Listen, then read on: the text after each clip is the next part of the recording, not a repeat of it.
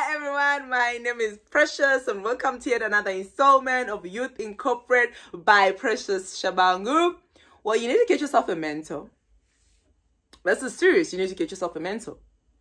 I've mentioned previously that if you are to succeed and strive in your corporate journey, you're going to need different stakeholders and different people to play different roles in assisting you um, to get to where you want to be. And one of those people, and I have previously mentioned that, you know, um, I'm going to do a video about this. And as a girl that keeps her promises, here I am talking to you guys about why you need a mentor, but most importantly, you know, the role that a mentor plays um in your journey. So many people have different understandings of what a mentor is, and that's fine. Um, however, I think what could be agreed on generally is that a mentor is someone who's more experienced than yourself within the same industry or within the same business environment who's kind of been doing this, you know, for a very long time.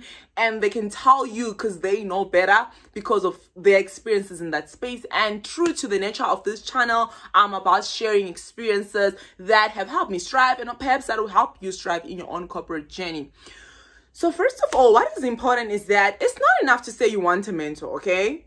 It's not enough. Actually, it's not even enough to just get one.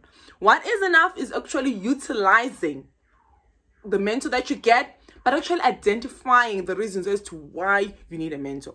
Okay, first of all, if they are going to be a more experienced person, and in my experience, they are very busy. Okay, and time is money, and time is one of the most valuable resources a person can actually give you. So when you identify a mentor and you then decide you want them to mentor you, please don't go with them not knowing or to them rather not knowing what it is that you want to achieve in your journey of mentorship and people do it differently but i'll tell in my own experience it is important that you sit down you sit down and identify a person that is aligned with where you are and where you want to go right? And how you do is that you need to know yourself. You need to sit down and say i want to achieve a b c and z. And to do that i would need this individual because they have done something similar okay? So now you are matching what you want to do and what this person has done. And I'll, you know ultimately I would like to believe that if you match this right and you do it right, you'd find yourself in a situation where if this person's acceleration journey was 10 years, right? But they share with you how they went about doing it and maybe share openly what their errors and their mistakes were in that journey.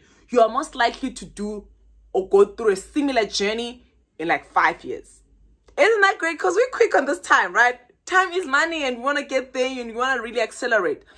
Um so identify first a person who's uh, who's done through who's gone through something similar and they can share their journey in how they did what they did and then learn from them. But once you have identified this person you need to approach them knowing what you want to achieve and then set a schedule. That is very important because it's in your hands so you first, when you talk to them for the first time, ask for their commitment as far as, you know, doing mentoring you. And guys, it is absolutely okay to be told no.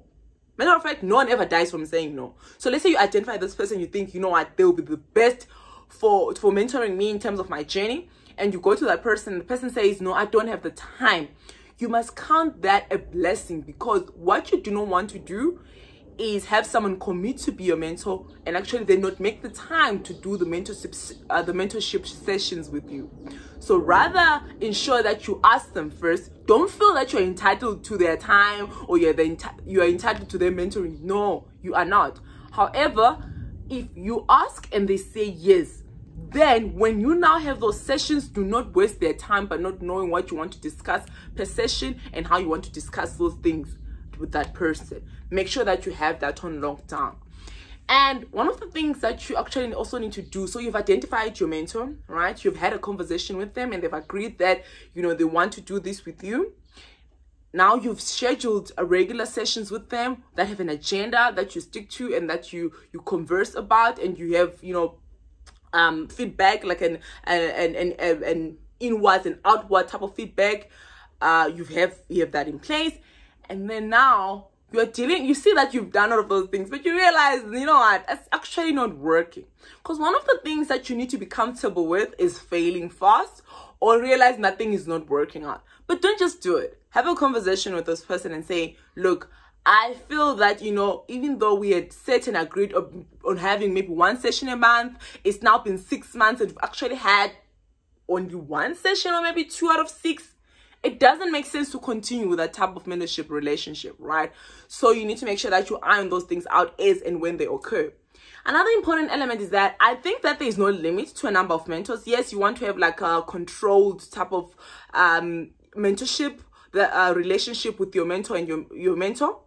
However, it's not to say that you can have you cannot have more than one mentor. So what I would suggest is that you have a mentor that like maybe is directly within the business that you work in, within the department, and then you have another mentor maybe outside of your business and the company that you work for, but within the same industry. You know what I'm saying? So if you're in the banking or in the financial services um, industry, you'd get someone within your work, and then you get someone else in another maybe bank, but then in the you know in the financial services type of um, environment or industry.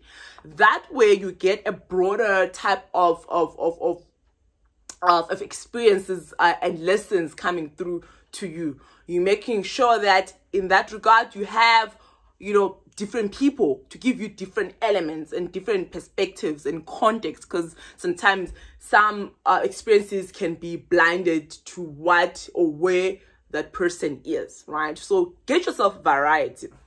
I think lastly, right, I just wanted to say that they are important, right? But they need to also think that you mentor you you being mentored by them is important to them. Then you have a beneficial relationship with that person. And guys i want to always take it to you. It's about you. Do you really want this? Do are you really committed to do this?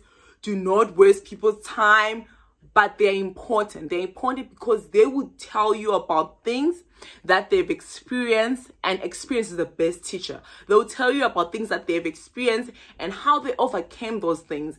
And in my own experiences, I've had people share with me, I've had mentors share with me what they've experienced and how they overcame. And when I was faced with similar situations, I knew better because guys when you know better you do better. So that is exactly what a mentor does. They help you know better so you can do better. And if you do better what you get to do is strive in the corporate jungle.